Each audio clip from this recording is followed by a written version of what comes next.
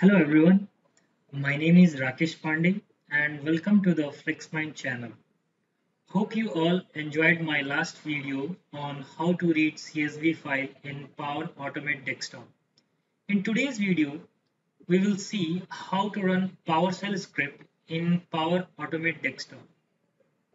As a Power Automate Desktop developer or expert, very frequently we are asked or required to run a PowerShell script in Power Automate Desktop.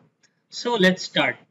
As you can see, my Power Automate Desktop preview is already open and I have already created a blank flow called PowerShell script automation. I will just go through that PowerShell script automation window. So this is just blank now. Before proceeding to that, I will just show you I have already written a simple PowerShell script which is on my desktop. So I will just open this.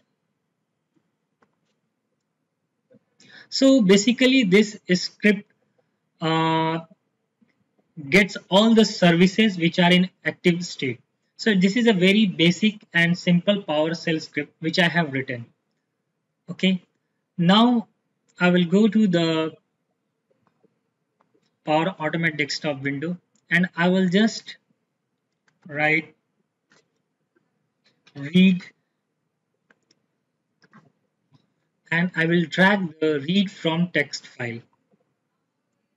Here I will just pass the value of the PowerShell script file which is already saved on my desktop. So I will just use this one, just open and I will just save.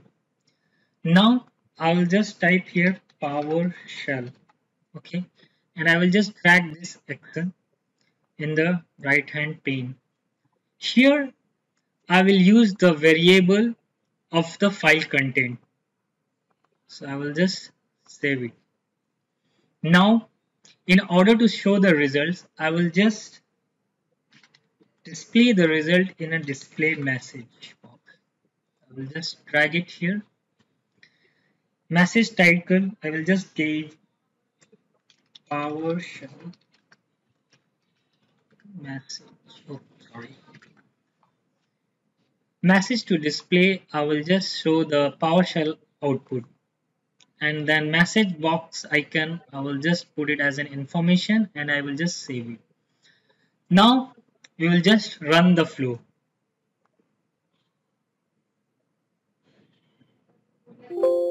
So as you can see in the display message it's showing all the services which are currently running on my laptop so this is the way we can use the PowerShell action in Power Automate Desktop. Hope you all will like this video.